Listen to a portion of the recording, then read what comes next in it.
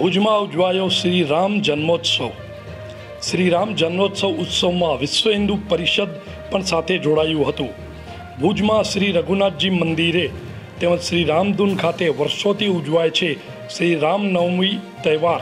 અહીં શ્રી રઘુનાથજી મંદિરે સવારે મંગળા આરતી, શૃંગાર આરતી, ત્યારબાદ બાઇક રેલી સ્વરૂપે ધર્મ રેલી, બાદ શ્રી રામ જન્મોત્સવ ઉજવાય છે.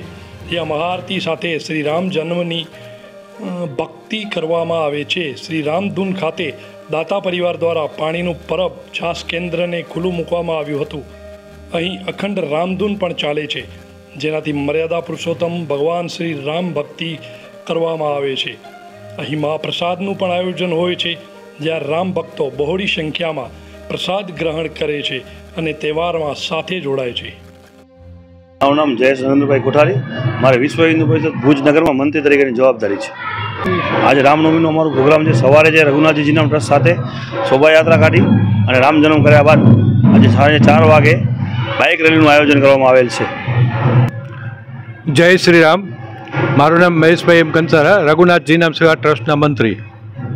આ રઘુનાથજી મંદિર છે એ રાજા સાહેબ પહેલાંનું આ મંદિર છે અને લગભગ ચારસો, સાડા ચારસો વર્ષ ઉપરનું આ મંદિર છે, જેનું આ છેલ્લા છ વર્ષ પહેલાં જ આપણે આ ભૂકંપમાં જે નુકસાન થયેલું હતું, એનું આપણે રિનોવેટ કરી અને ફરી પાછું મંદિરનું પુનઃનિર્માણ કર્યું છે.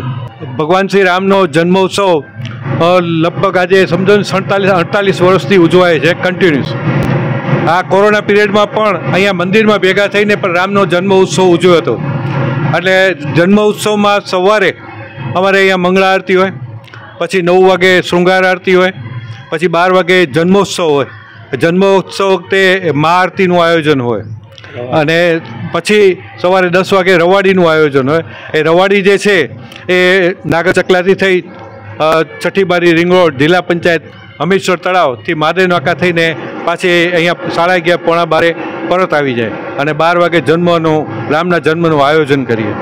અમારો અહીંયા જે સત્સંગ મંડળ છે મહિલાઓનું, એ લોકોનું સત્સંગ હોય, રાત્રે ભજનનો કાર્યક્રમ હોય. આજે રામનવમી શ્રી હરિ જયંતિ, ચૈત્ર સુદ પૂર્ણિમા, અલા, નવમીનો શુભ દિવસ છે. અને અહીંયા આગળ આપણા ભુજની અંદર જ્યાં રામ મંદિર અખંડ ધૂન ચાલી રહી છે, ત્યાં આગળ આ એક સેવાનો યજ્ઞ વર્ષોથી ચાલે છે. તો અહીં દર વર્ષે સેવાભાવી બધા ભાવિકો દ્વારા છાસ કેન્દ્ર, પાણી વિતરણ એનું હંમેશા આ એક સેવાનું કાર્ય, એક યજ્ઞ વર્ષોથી ચાલી ચાલી રહ્યો છે. તો એ આજે ભગવાનને પ્રાર્થના કરીએ છીએ કે એવી જ રીતે વિશેષ બધા જે કોઈ અહીંયા સેવા કરે છે, એ બધા દ્વારા ભગવાન ખૂબ પુણ્ય પ્રાપ્ત કરાવે અને બધાને તને, મને, તને સર્વ પ્રકારે સુખી રાખે. અને આવી જ રીતે બધાને સેવા કરવાનું બળ પ્રાપ્ત થતું રહે. એવી ભગવાન શ્રી સ્વામિનારાયણ, શ્રી રામચંદ્ર ભગવાન અને ગુરુ હરિના ચરણોમાં અમે પ્રાર્થના કરીએ છીએ. મુકેશ કાંતિલાલ ઠક્કર અખંડ રામધૂન સંકીર્તન મંડળમાં અમે બધા બધા સંકળાયેલા છીએ. સવારથી અમારો પ્રોગ્રામ સવારે પૂજા છે. પછી સાડા દસ વાગે આપણે કને છાસ કેન્દ્રનું ઉદ્ઘાટન કરેલ છે. બપોરે સાડા બાર વાગે મહાપ્રસાદનું આયોજન રાખેલ છે. બાર વાગે રામ જન્મોત્સવ રાખેલ છે અને સાંજના મહાઆરતીનો પ્રોગ્રામ રાખેલ છે. આખા દિવસનો બધો સંપૂર્ણ પ્રોગ્રામ રાખેલ છે. બીજું વિશેષ, અમને એક આનંદની લાગણી એ છે કે અમને કને પાણીનું પરબ, શશીબેન પ્રભુરામભાઈ ઠક્કરભાઈ, ઠંડા પાણીની પરબ અમને ત્રણસો પાંસઠ દિવસ ચાલુ રહેશે એવી આજથી અમને જાહેરાત કરેલી છે. એ અમે હનુમાન જયંતિથી ચાલુ કરશું. રામધૂન મંદિર પાસે જાય મારું નામ રસિકભાઈ શાહ. ભુજનો જ છું. ઓગણીસ, અઢારે ઓગણીસો ચોરાસીથી અખંડ, સત્યાવીસ વર્ષ સુધી અખંડ અખંડ ચોવીસ કલાક ચાલુ રહી હતી. ત્યાર પછી ભૂકંપ આવ્યો, એટલે પબ્લિક ઓછી થઈ ગઈ. એટલે અત્યારે સવારેથી કરીને રાત સુધી ચાલુ રહે છે.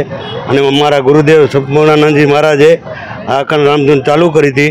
અને નારાયણ સ્વામીના હાથે પહેલો સ્વર એમને હાથે શ્રી રામ જય રામ બોલાણો હતો. અને ત્યાર પછી અખંડ સિત્યાવીસ વર્ષ સુધી ચાલુ રાખી હતી. બસ ભગવાનનું નામ લેવાનું. રામધૂન રામધૂન શ્રી જય શ્રી રામ જય રામ જય જય રામ શ્રી રામ જય રામ જય જય રામ અખંડ હલાવે છે. અને એનો કાર્યક્રમ આ લોકો સંભાળી રહ્યા છે બરોબર રીતે. બીજું અમે